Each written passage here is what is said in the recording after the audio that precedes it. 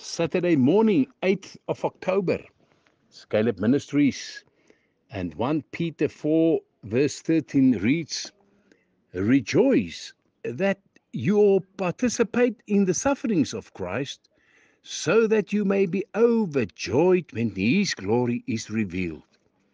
Our heading, a rational joy. Okay, point one in our discussion of this verse. How the world sees us. Skeptics throughout history have considered verses like this one to be clear evidence that Christianity is rooted in insanity. They don't say it quite like that, but human nature has very little interest in a faith that includes joyful self denial and hardship. Our beliefs don't seem rational to those who think about the here and the now, that it that it's all there is, or who thinks God's love equals comfort. When we rejoice because of what our sufferings mean, we look crazy. Uh, but now, point two, how God sees it. So, how the world sees it, that's okay.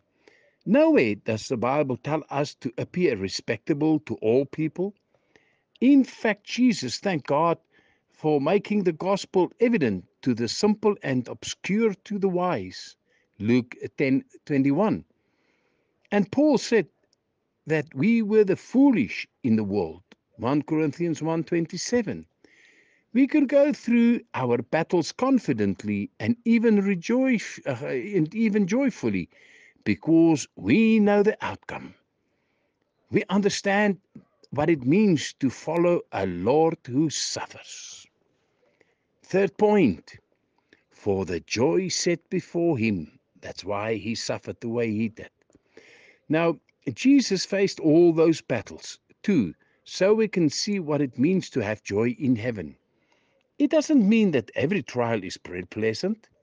Jesus wasn't having much fun in the Garden of Gethsemane the night before his crucifixion, or especially during the crucifixion itself. He was, however, focused on the joy that his trial would lead to be. And that is Hebrew 12, verse 2. Now, our application goes. Now, the above is the lens through which we should look at our trials. What seems to be a defeat is often the path to victory, especially when God is involved. He told his disciples to rejoice when they were persecuted. And Peter could never have repeated the command in verse 13 rejoicing is a viable option for a hurting believer. And in the end, it will prove entirely rational. I pray. Lord, in shunning a trial, we are seeking to vo- avoid a blessing.